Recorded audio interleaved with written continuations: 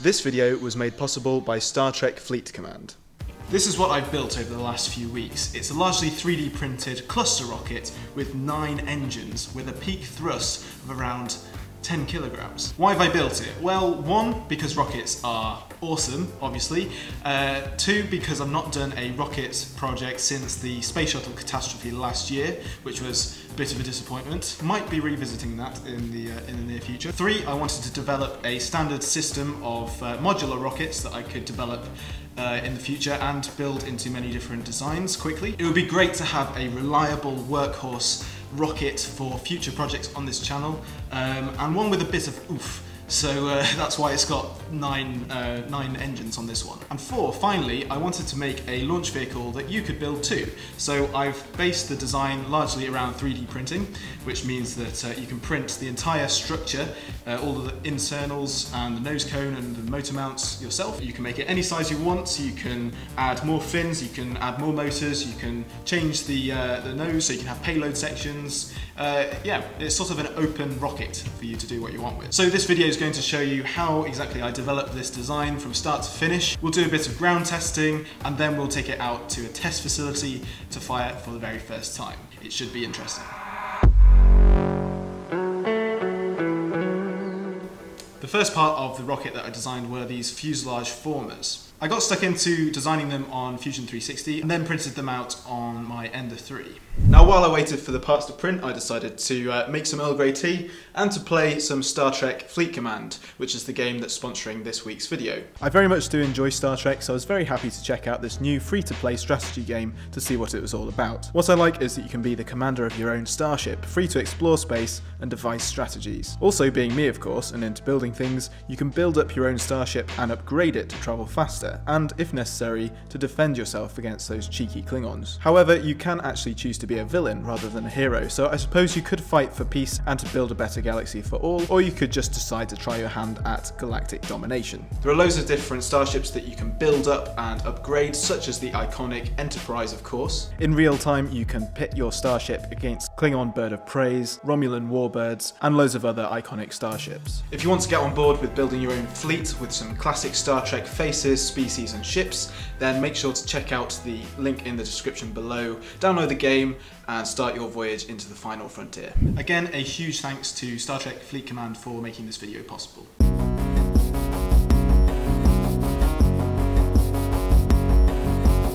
Okay, so these fuselage formers were made with lots of holes in, as you can see, and apart from making them look very space age, they are for passing dowels through. I know wood isn't exactly 3D printed, but I'm sure that you could design some sort of uh, some struts if you wanted to on Fusion 360, print them out on the Ender 3 and use those instead.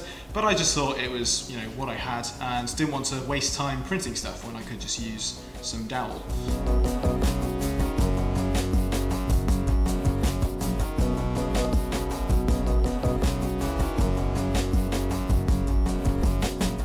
Thought this would be a really good way of making the airframe up as you could just add more length of the dowel and more formers uh, to make a longer rocket. And also you can make them in different diameters. So this one is a 50 millimeter ring and this one is uh, 100. So that might be for a smaller rocket or for a second stage up here. And also for fun, I printed off this uh, KSP inspired uh, command module, which would uh, sit on the top of a rocket. It's not very aerodynamic, but I thought it'd be fun to make some KSP inspired uh, rocket designs. Now in case you're not familiar with model rockets, the way this whole thing works and how you get the rocket back is that the rocket engines fire in the bottom here, producing a lot of thrust, and then after a while they will produce some sort of ignition charge which will blast the top of the nose off. This will tug a parachute out and then theoretically the entire thing will float down to the ground nice and gently. So Fingers crossed that happens later when we test this thing for the first time. The nose was the thing that took the longest to print. It was about nine hours, I think, which was quite a long time, so I'm hoping that I get this piece back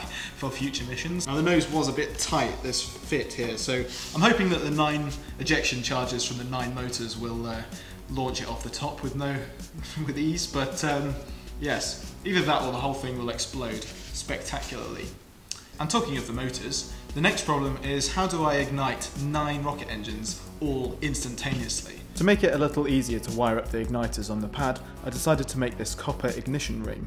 It's essentially a positive ring and a negative ring, with 9 sets of crocodile clips soldered in between, in parallel. In theory, an equal charge would go to each igniter, but I wasn't too sure if the motors would actually go off at the same time. Obviously, I wanted to make sure that I could at least ignite two motors at once, so I did a little test the other day. Here's how that went.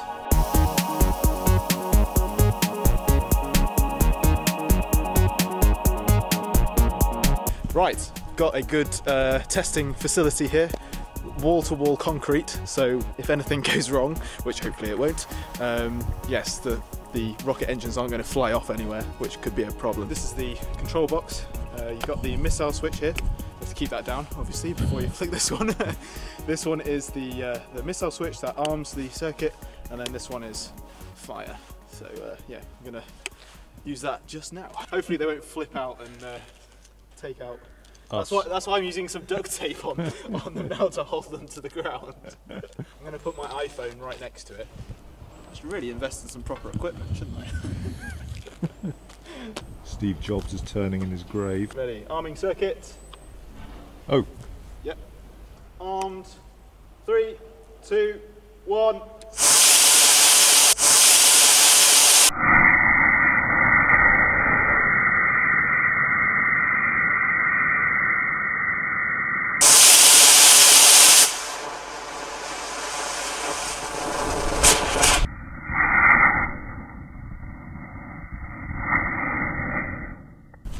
Very successful.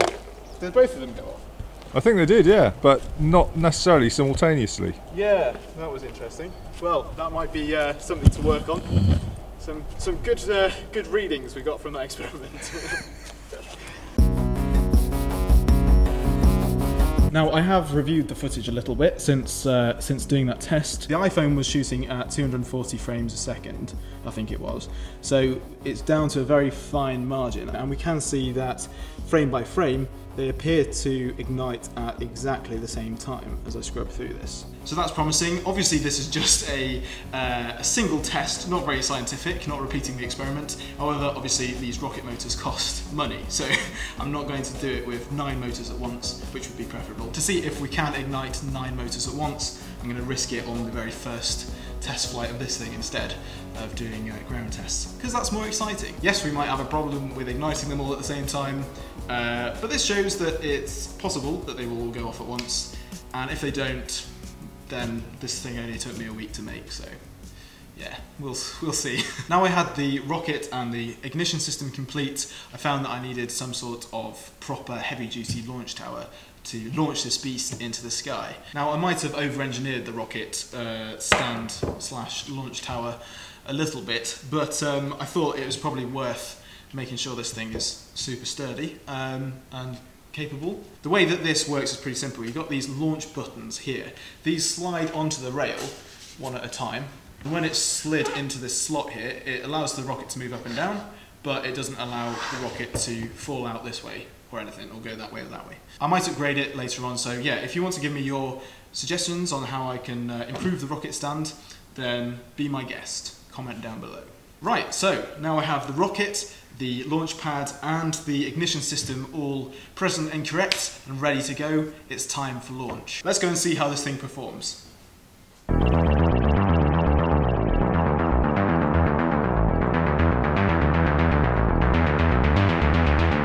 Alright, we're up here at the launch field. I've just hiked up here. Um, took quite a while. Um, and now we're in the middle of nowhere, ready to launch this thing. Now, it might explode, it might go up into the sky and the parachutes fail. We don't know yet, or I don't know yet. But uh, yeah, keep watching to find out what happens. I'm getting quite nervous.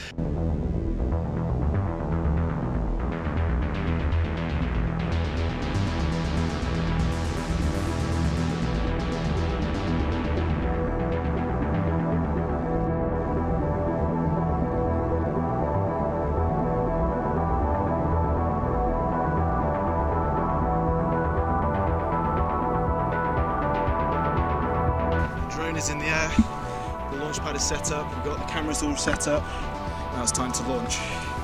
Ready, arming circuit.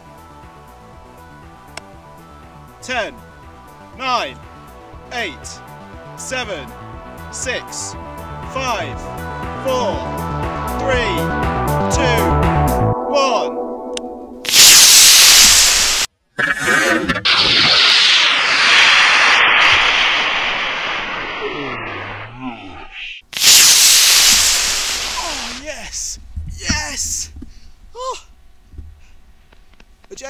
Eject, eject, eject, eject!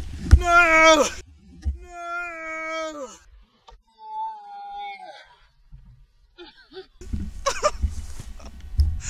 oh, bollocks. well, the parachute didn't work. so we've got a little bit of work to do, I think. Let's see if we can uh, find the wreckage with the drone. Oh my goodness, that looked so good. Just seeing the flames come out of the exhaust. There's like all nine engines all lit up. It's brilliant. This might be difficult. I can see a patch over there, but um, I don't know if that's it. I heard it go thud into the ground. That looks like it could be it actually. Uh, I'm gonna go and stand over there so that I can get signal with the drone. Let me just summarise while we're finding the wreckage. That was, uh, I'm very pleased with the performance of the rocket. It flew spectacularly, but yes, obviously we've got some work to do on the uh, recovery system. Look at the carnage. that is quite spectacular. I wish I'd caught that on film. Look at the amount of debris. this is the only bit that stayed relatively intact.